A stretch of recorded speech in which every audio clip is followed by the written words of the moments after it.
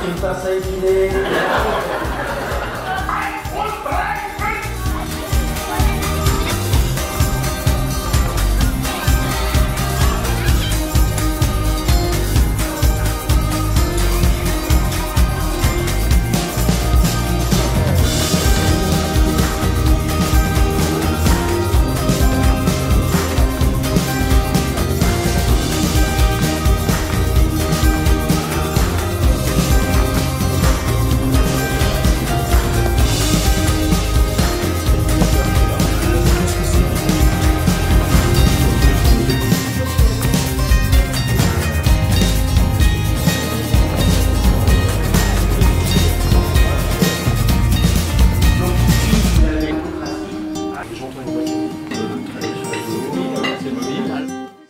Avec la pâte, elle a fait des petites boules et elle a mis le tout au four très chaud.